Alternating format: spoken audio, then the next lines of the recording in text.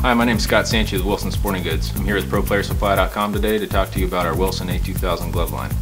This glove is a brand new model for us in 2013.